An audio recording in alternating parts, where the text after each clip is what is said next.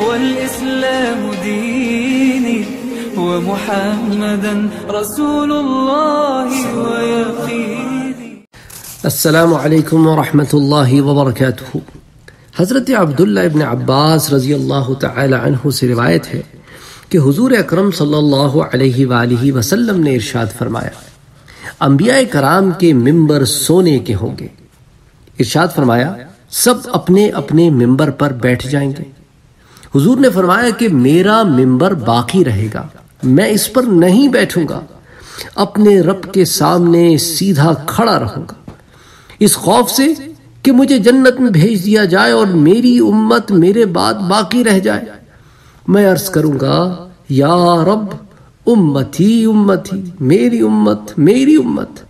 اللہ تعالیٰ فرمائے گا، یا محمد، آپ کیا چاہتے ہیں؟ میں آپ کی امت کے ساتھ کیا کروں؟ میں عرض کروں گا، یا رب، ان کا جلدی سے حساب کر دے۔ چنانچہ ان کو بلایا جائے گا، پھر ان کا حساب کیا جائے گا۔ پس ان میں سے بہت سارے اللہ کی رحمت سے جنت میں داخل ہوں گے، اور بہت سارے میری شفاعت سے جنت میں داخل ہوں گے۔ پس میں شفاعت کرتا رہوں گا، حتیٰ کہ مجھے چند لوگوں کے پرچے دیے جائیں گے، جن کو دوزخ میں بھیجا گیا ہوگا۔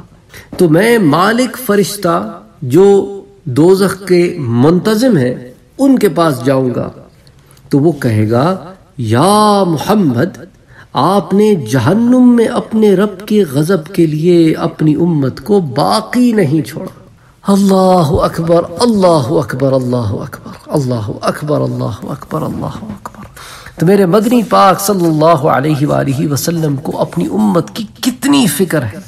اس روایت کو امام حاکم نے روایت کیا ہے المستدرک میں، کتاب الایمان میں، اور کہتے ہیں کہ ہادہ حدیث صحیح الاسناد۔ اس کے علاوہ جو ہے، اس کو اور کتب حدیث میں بھی روایت کیا گیا ہے۔ اس کے، اس کو امام منظری ترغیب و ترہیب میں بھی لے کر آتے ہیں۔ بہت ہی خوبصورت روایت۔